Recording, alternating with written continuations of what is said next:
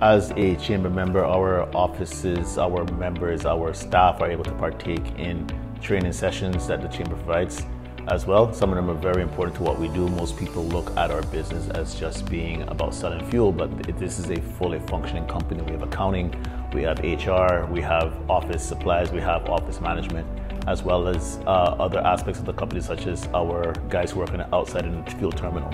So being a fully functioning business in all aspects of business, we do need that support those training aspects as well. And the Chamber does provide that to us at a cost that we think is very beneficial for all of our staff. This is my chamber.